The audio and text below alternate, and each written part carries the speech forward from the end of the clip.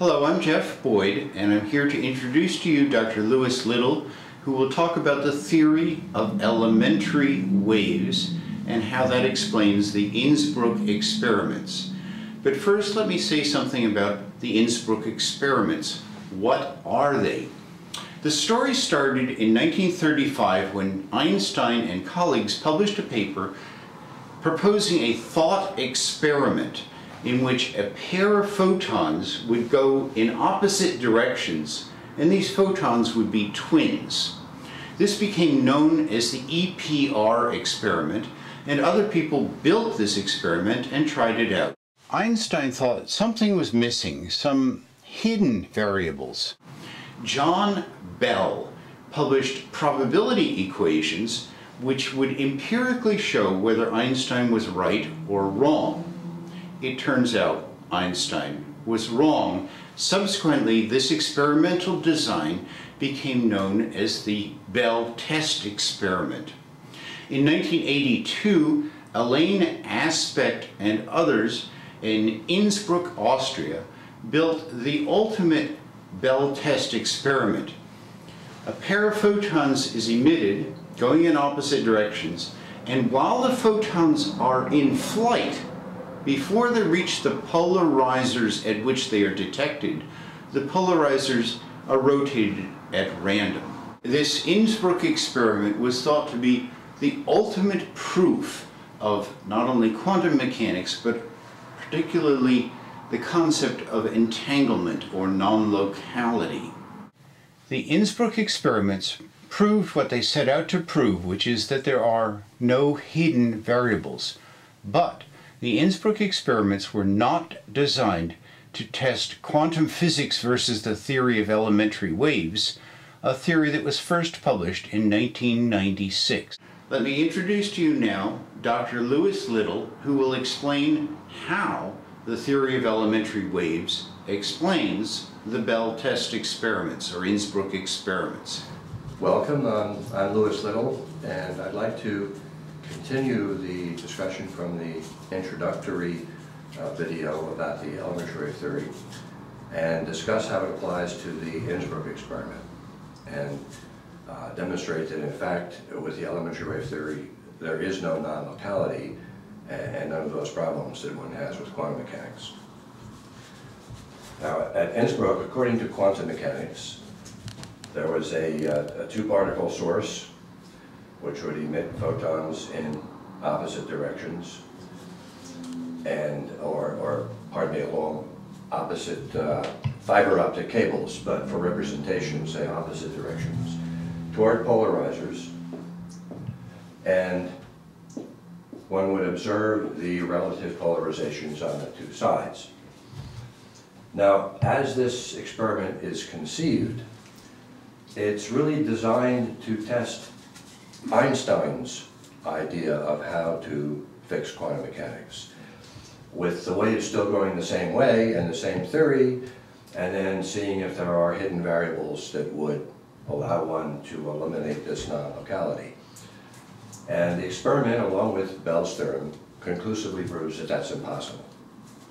If these waves do move out from the source, then one seemingly is stuck with this non-locality as the only way to account for it. Now, in the elementary wave theory, the waves are coming in from the polarizers. Waves at all the different polarizations are, are coming in. Basically, the same waves coming in that are going out in the current theory. And they interfere at the two-particle source. See, in quantum mechanics, the interference in effect takes place between the locations of the two polarizers. The, the pair of waves on one side interacts or, or interferes with the pair on the other side. Now this for whatever orientation one has chosen on the two sides. And the, the interference then determines the probability of the different combinations of uh, polarizations. Uh, in the elementary wave theory, the waves come in and they interfere at the source, locally. The interference is exactly the same interference that occurs non-locally in quantum mechanics. One can convince oneself of that by just imagining that one takes all the waves on one side that are coming in, pardon me, going out in quantum mechanics, and transport them around over to here. So now they're still going the same way, and the other quantum waves are moving out, and they would interfere together over here. This is the Innsbruck experiment in claymation, which means clay used to make an animated cartoon. A source emits a pair of photons that go in opposite directions and are detected at polarizers. Quantum physics says these photons are also waves. They are photons at the very beginning and end, but throughout their flight they are quantum waves.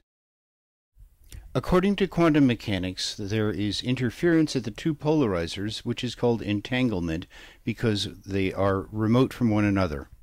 Quantum waves start at the center and travel out to the polarizers where the waves on the right somehow interfere with the waves on the left. Elementary waves start at the polarizers and travel to the center where the waves on the right interfere with the waves on the left. In order to convince yourself that the interference is the same in both cases, Dr. Little suggests the thought experiment shown here. Thus, although the interference is located in different places in the two theories, it is exactly the same interference. That's really exactly what's happening with the waves coming in from the two sides. So it's the very same interference. And the result then has to be the same. Um, the reason this works, the particles need only occupy a single state. Um, you have multiple waves coming in, but the particle goes out in a single state. And the same with the particle on the other side. The interference caused by elementary waves has no further effect on the photons once they are emitted, and each photon follows only one elementary wave back to the polarizer from which that particular wave originated. Uh, there's never any need to have particles in multiple states. As I showed, for example, with the double slit experiment, the particle goes through only one slit, doesn't go through both. Now, that's not to say that the particles come out in one state of polarization. We know that until a photon goes through a polarizer, it isn't polarized. It only becomes polarized at the polarizer. So it's in one state of some variables, the nature of which we at present do not know, that will determine how it acts at each polarizer. And if you want to picture this to yourself, uh, you can imagine that, that each photon as it comes out carries a, a lookup table, if you will, that will specify what you'll see for any potential orientation of a polarizer. And the key is that these tables for the two photons are written together at the source locally. Now, one thing that's been confusing both to me and to other physicists is um, the following. Uh, these particles, the photons have to carry something that determines which way they're going to be seen. And so it sort of sounds like there still is a determination here and that Bell's theorem would therefore apply. But there's an equivocation involved there because, again, all the photon carries is, in effect, the lookup table. It's already determined which way it's going to be seen for any orientation there. Those variables, whatever they are, do not include the variables in the source that determine the correlations between the two sides. Those variables stay in the source. They're responsible for, if you will, simultaneously writing those tables on both sides. And their job is then done. After that, the photon simply goes the way that was already determined at the source. The same for both photons.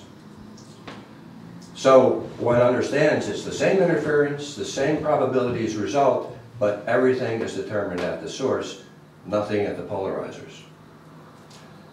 Another way one might think of this is Bell's theorem is proved using probability distributions that are supposed to be smooth and continuous. There is no such thing at the polarizers in this theory.